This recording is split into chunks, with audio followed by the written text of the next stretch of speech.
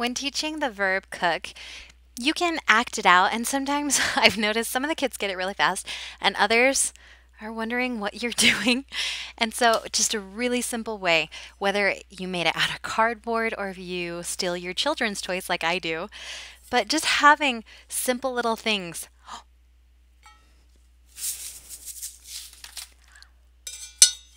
Cook! Cook! Do you cook? Just, it makes it fun, more inviting, more visual. And so it's just a way to spice up the lesson.